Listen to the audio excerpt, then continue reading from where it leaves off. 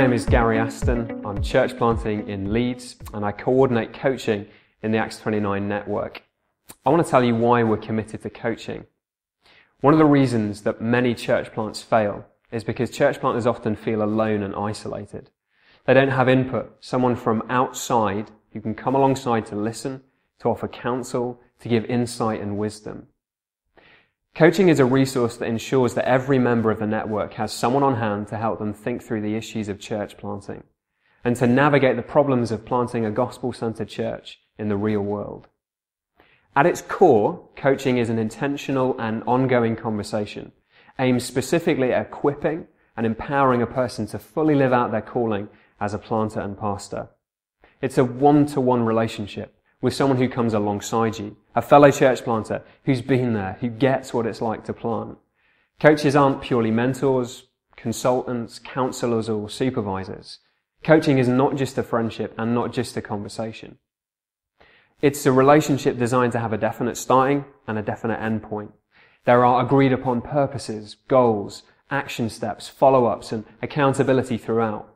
Your coach will aim to listen to your situation and ask good questions in order to help move you forward. This will, in turn, help you know where to focus and how to develop your strategy and the next steps necessary for your development. The coach will then follow up with regular conversations, always seeking to serve you by speaking the truth in love in a direct and sensitive way, remembering that the gospel will be the fulcrum on which every conversation pivots. You may be thinking to yourself, what does coaching consist of? What does this relationship look like in practice? Our standard model for an Acts 29 coaching relationship spans a 12 month term and consists of 12 appointments of 60 to 90 minutes in duration. These appointments happen once every month at a time designed to best fit your schedule. These conversations will provide a context in which to discover the progress you've made since the last session, as well as new insights and opportunities that have arisen and areas for development that will inevitably emerge.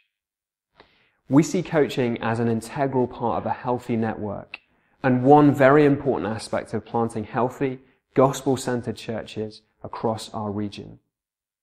Our hope in all of this is that you will glean meaningful insights into church planting in light of the gospel, find motivation to press on in the difficult task of ministry, notice significant turning points, and celebrate the gracious providences of the Lord Jesus Christ in your life, your marriage, your family, and your ministry.